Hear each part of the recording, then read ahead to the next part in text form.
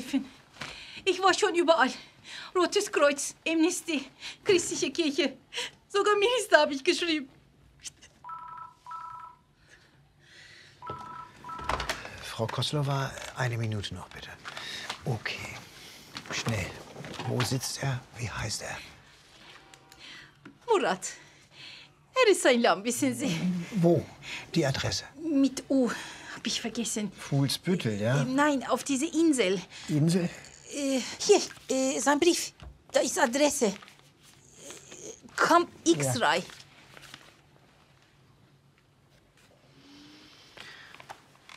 Frau Koslova, bitte verschieben Sie das Telefonat. Ja, Mutter Rabie betrat mein Büro und wollte einen Profi beauftragen, ihren Sohn so schnell wie möglich aus Guantanamo zurückzuholen. Sie hatte es selbst probiert, hat sechs, sieben, acht Monate ähm, alle Behörden kontaktet, nirgendwo richtige Hilfe gekriegt. Nun dachte sie, okay, jetzt gehe ich zu einem ausgewiesenen Anwalt, dann wird der Sohn ja in drei Wochen wieder da sein.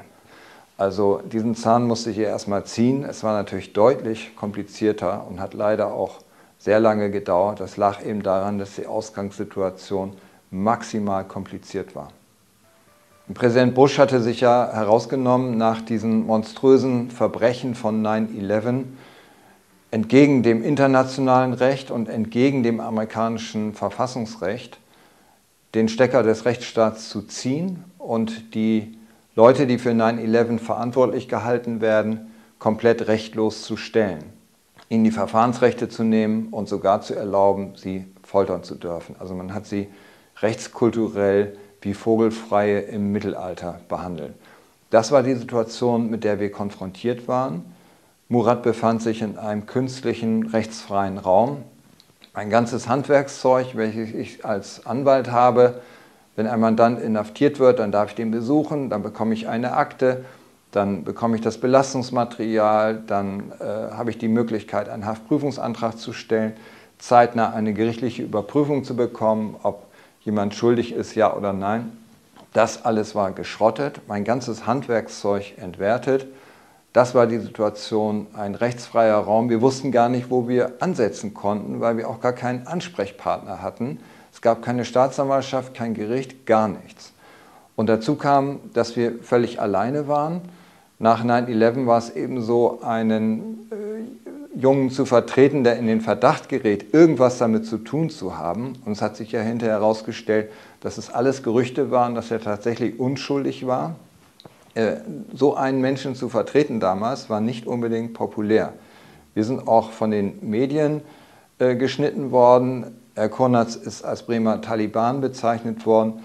Und für einen Anwalt dann so ein Mandat zu übernehmen, mit einer sehr geringen Erfolgsaussicht, mit einem sehr mächtigen Gegner, eigentlich dem mächtigsten Mann der Welt, dem amerikanischen Präsidenten auf der Gegenseite, einem rechtsfreien Raum, wo man gar keine richtigen juristischen Ansatzpunkte hat und ohne äh, mediale Unterstützung, sondern quasi auch gegen die Öffentlichkeit. Das war natürlich unglaublich kompliziert, aber ich habe mich entschieden, diesen Fall ohne Zögern anzunehmen, weil es letztendlich um die Essenz des Rechtsstaats geht, nämlich faires Verfahren für jeden, egal was jemandem vorgeworfen wird, und keine Folter. Das ist das Minimum, für das wir uns einsetzen müssen. Darum ist es mir gegangen. Murat, steh auf oder ich schneide dein Bart ab. Mitteilen, dass Ihr Sohn nach Guantanamo verbracht wurde. Was ist das? Ist hier Tag der offenen Tür? Hier soll ein Taliban wohnen. Was? Das wüsste ich aber. Ich bin Rabie, Mama von Murat. Wenn Sie Fragen haben, antworte ich. Und gehen Sie runter von meinen Schneeglöckchen, ja? Entschuldigung. Echt jetzt? Na, da es eben keinen etablierten Rechtsweg gab, habe ich mich natürlich an die Politik gewandt mit der Bitte um Unterstützung. Die türkische Seite, also Murat hatte ja einen türkischen Pass, obwohl er in Deutschland geboren ist und aufgewachsen ist. Die türkische Seite hat gesagt, das ist ein deutscher Fall. Der hat ja mit der Türkei außer dem Pass überhaupt nichts zu tun. Der hat auch keinen Militärdienst bei uns gemacht. Der hat nichts gemacht für die Türkei. Warum soll sich die Türkei jetzt für ihn einsetzen? Das war so das türkische Mantra. Und die deutsche Seite hat gesagt, die Amerikaner lassen uns den Fall gar nicht verhandeln, weil er die türkische Staatsangehörigkeit hat. Und von daher gab es auch von Seiten der Politik keine Unterstützung. Und dass die Deutschen gesagt haben, die Amerikaner lassen uns diesen Fall äh, nicht mit sich verhandeln, weil sie eben darauf hinweisen, der ist ja Türke und kein Deutscher. Das ist eine Lüge gewesen. Ich bin hintergangen worden, weil die Deutschen von Anfang an mit den Amerikanern in diesem Fall zusammengearbeitet haben. Das haben wir erst sehr viel später herausbekommen. Es war so, dass die Amerikaner den Deutschen erlaubt haben, im Herbst 2002 Konatz in Guantanamo zu besuchen.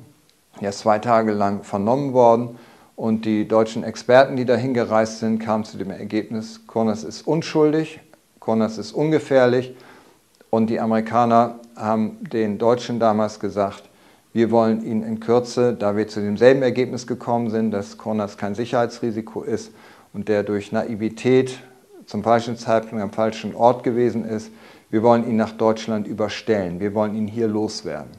Und dann passiert etwas, was mich unglaublich geschockt und wahnsinnig geärgert hat. Statt dass die Bundesregierung diese Chance am Wickeln nimmt und diesen Jungen aus Folter und Entrechtung zurückholt, was immer er getan haben mag, selbst wenn er sich in irgendeiner Weise an kriminellen Dingen beteiligt haben sollte, was er ja, wie wir heute wissen, nie getan hat, hätte man die Chance greifen müssen, ihn aus Guantanamo, aus Folter und Entrechtung rauszuholen. Dann hätte man das hier vor Gerichten in fairen Verfahren klären können. Aber zu sagen, wir helfen nicht, weil er halt den falschen Pass hat, das ist inhuman, das ist amoralisch gewesen und das ist einfach eine ja, eine bodenlose, schamlose und letztendlich für Konrads auch furchtbare Entscheidung gewesen.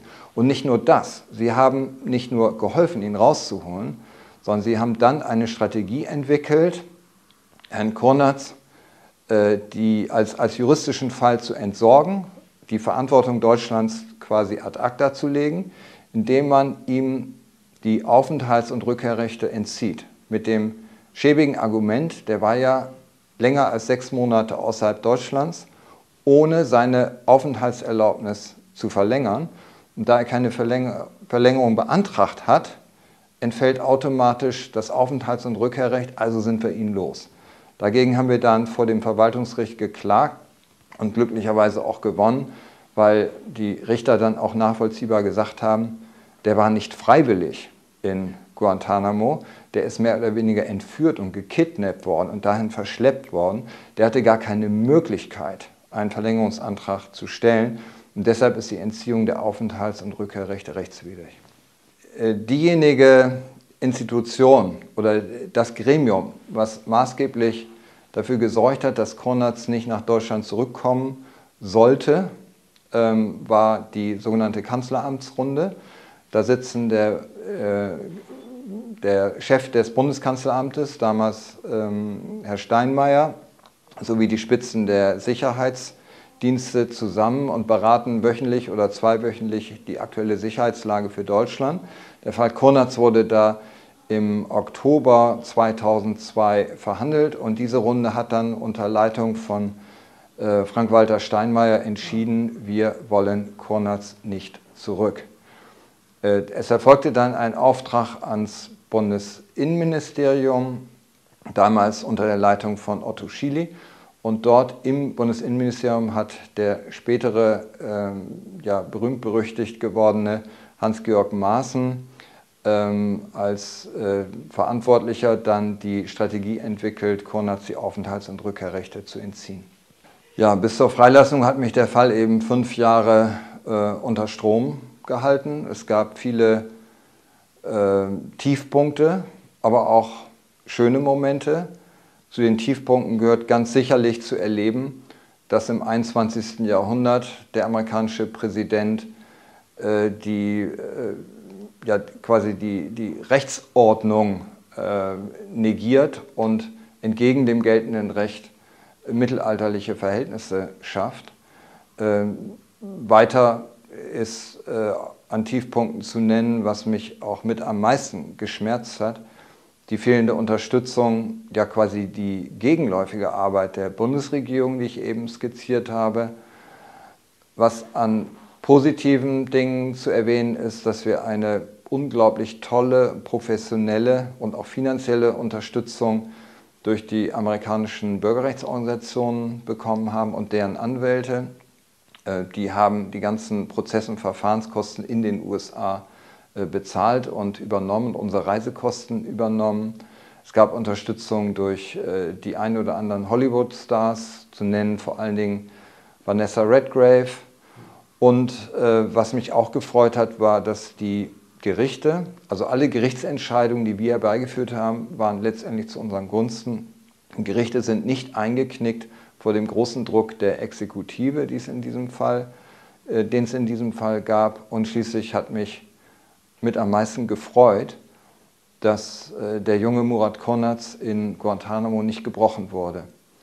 Dass er als Mensch zurückkam, der zwar gezeichnet war von der Folter und der Entrechtung, der aber nicht so seelisch äh, und körperlich entkernt und kaputt gemacht wurde, dass er danach nicht noch ein schönes Leben hat äh, finden können. Die meisten Menschen, die durch Folter gehen, können nicht mehr heimisch werden, heißt es. Auf den Kronatz trifft das glücklicherweise nicht zu.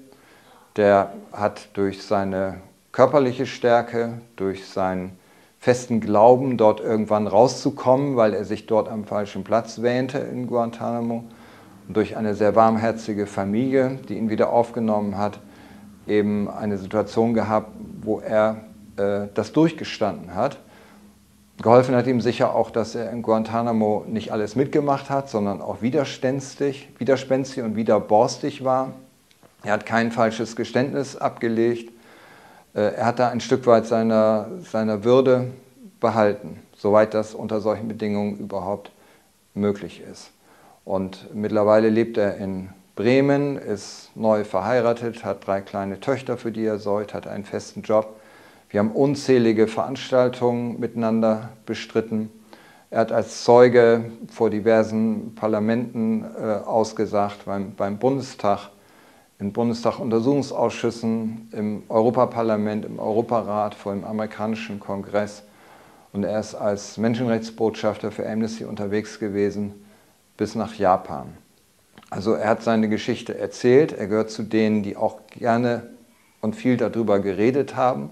Das hat ihm sicher auch geholfen, diese Traumata zu überwinden. Andere, die aus Guantanamo entlassen worden, sind komplett verstummt. Das ist bei ihm zum Glück nicht der Fall. Also wenn ich das alles zusammenziehe, es gab viele bittere Momente. Vergessen habe ich aufzuzählen, die sogenannte Scheinfreilassung war ein, ein Tiefpunkt. Äh, es gab aber auch schöne Momente. Und wenn ich es für mich persönlich zusammenfasse, ich habe erstmals erlebt, wie das ist, wenn die rechtsstaatlichen Sicherungen, die wir hierzulande haben, wenn es die nicht mehr gibt, was für furchtbare Verhältnisse wir hätten. Und ich habe das, was ich immer selbstverständlich wahrgenommen habe hierzulande, dass ich jemanden, der inhaftiert ist, gleich besuchen kann, dass ich ihn über Haftprüfungstermine frühzeitig aus der Haft rausholen kann, wenn die Haftgründe eben nicht reichen, dass ein Richter einen Haftbefehl äh, überprüft oder den, den Tatverdacht, den die Staatsanwaltschaft aufbaut, überprüft. Das sind alles Dinge, und dass selbstverständlich nicht gefoltert wird, das sind alles Dinge, die ich immer als selbstverständlich, als gegeben und als, äh, als sicher für immer angesehen habe. Und in dem Moment, wo man einmal erlebt, dass das keineswegs sicher ist und dass es gesellschaftliche Zuspitzungen und Situationen geben kann, in denen diese Sicherheiten eben nicht existieren, äh, das ist auf der einen Seite furchtbar, auf der anderen Seite lernt man dann den Wert und die Bedeutung dieser äh, zivilisatorischen Errungenschaften ganz anders und neu kennen. Also ich habe diverse Mandanten mit einem äh, türkischen Migrationshintergrund gehabt und von daher war ich mit dieser Szene ein Stück weit vertraut, aber dass ich so richtig in die Familie einbezogen wurde, das ist in diesem Fall besonders gewesen. Üblicherweise, wenn ich äh, Mandanten, die, die angeklagt sind, verteidige, dann habe ich zu Ihnen ein Verhältnis, wo ich Ihnen für diese Fragestellung, um die es da geht, helfe, wo wir zusammenarbeiten, wo ich aber auch ein Stück weit äh, professionelle Distanzware, wo wir also dann nicht Freunde werden, wo wir also nicht irgendwie eine, eine engere Beziehung aufbauen. In diesem Fall ist es eben anders gewesen, weil der Fall einmal eben sehr lange ging, er sehr intensiv war, er sehr viele Gefühle berührt hat und weil ich einfach auch in dieser Mutter eine, eine Person gesehen habe, die, äh, die mich beeindruckt hat, die ein ganz, ganz tiefes, unvorstellbares Leiden durchlitten hat. Vorstellung, dass äh, das eigene Kind tagtäglich gefoltert wird und man nicht helfen kann, das ist unerträglich. Ich glaube, wenn man keine Kinder hat, kann man sich das gar nicht vorstellen, so eine Situation. Und diese Mutter musste aber funktionieren, weil sie noch zwei andere kleinere Jungs zu versorgen hatte und weil sie für die Familie auch da sein wollte. Und wie Rabir das geschafft hat, mit ihrer Lebensfreude, die sie eigentlich hat, mit ihrem Humor, mit ihrer Energie. Äh, die Schauspielerin, die sie spielt, Meltem Kaptan, hat sie als Stehaufweibchen bezeichnet. Das ist genau treffend. Also Rabir ist eine Person, die ist einnehmend, die äh, hat eine Ausstrahlung, wo man gerne auch etwas erwidert und wo sich dann der, ich sag mal, der, der Panzer der professionellen Distanz auch sehr schnell auflöst. Ja, was meine Beziehung zu der Mutter angeht, äh, ist es sehr authentisch, also sehr nah dran an dem, wie es wirklich gewesen ist. Es gibt Dinge im Film, die sind eben fiktional. Zum Beispiel die Geschichte, wie sie zu mir gekommen ist und meint, sie, hätte, sie würde mich aus dem Telefonbuch kennen. Ganz, ganz so war das nicht. Sie hatte sich Empfehlungen eingeholt und mitbekommen, dass ich äh, gewisse Erfahrungen mit den USA habe und auf Strafrecht spezialisiert bin. Ähm, der Konflikt, den der Film im Büro zeigt, dass mir von Kollegen gesagt wird, äh, mach das nicht, warum äh, willst du einen verteidigen, der unseren Rechtsstaat fundamental ablehnt? Diesen Konflikt hat es nicht gegeben. Äh, bei mir im Büro waren alle fest der Überzeugung, das musst du machen und da musst du auch dranbleiben. Aber der Film, was die, was die eigentliche Fallgeschichte angeht, ist äh, ziemlich nah dran an der Realität. Der rote Faden wird richtig entwickelt, aber es ist natürlich so, dass in fünf Jahren viel mehr Dinge passieren. Die kann man gar nicht alle auf, äh, auf zwei Stunden Film komprimieren. Insofern musste der Film sich auch beschränken auf das Wesentliche oder auf das Typische. Und was heißt Rabia Kurnas VS George W. Bush? Dass du gegen den Präsidenten der Vereinigten Staaten klagst. Wer? Ich? Ja, du.